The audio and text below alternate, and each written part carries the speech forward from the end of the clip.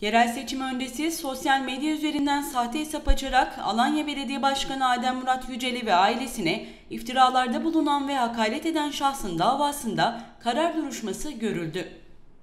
Alanya Belediye Başkanı Adem Murat Yücel, 31 Mart 2019 yerel seçimlerinin yapıldığı dönemde sosyal medya üzerinden pek çok sahte hesaba karşı da adeta savaş açmıştı.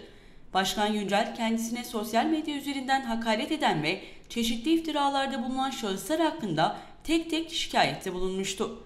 Bu sahte hesaplardan biri olan ve Ömür Deniz ismiyle Başkan Yücel'e saldırılarda bulunan şahsın davasında son karar verildi.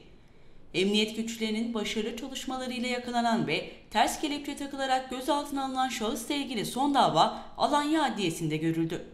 Alanya Belediye Başkanı Adem Murat Yücel'in avukatı Arzu Çetin'in katıldığı davada şikayetçi taraf olan Başkan Yücel'in tüm beyanlarını tekrar ettiği ve şahıstan davacı olduğu vurgulandı.